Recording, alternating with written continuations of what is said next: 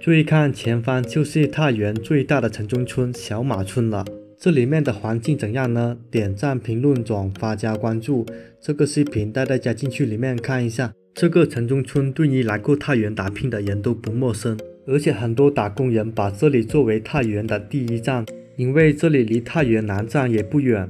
除此之外，这附近的交通也比较便利，又加上这里的住宿很多，而且很低廉，可以日租也可以月租。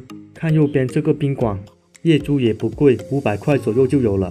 话又说回来，可以看到这个村的房子跟广州城中村的房子不一样。这个村无论是大县还是小县，都规划得挺好的，不像广州的城中村，进来就好像进入了一个迷宫一样。最惨就是房子都是握手楼，一点光线都没有。走到这边，发现这里挺多宾馆的。刚才都说了，也正因为这里的宾馆多，才使得这里的住宿便宜。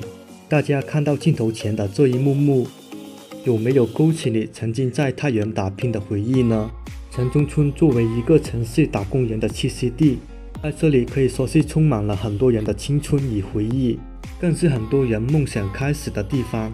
前方一个洗浴，说实话，我作为南方人，第一次看到这种场所，不过我不敢进去，因为我有点放不开。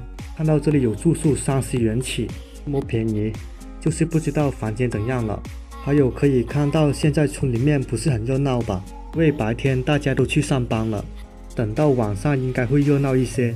还有我发现这个城中村的消费啊比较低，看前方的面食十块管饱，这样的消费实在太亲民了。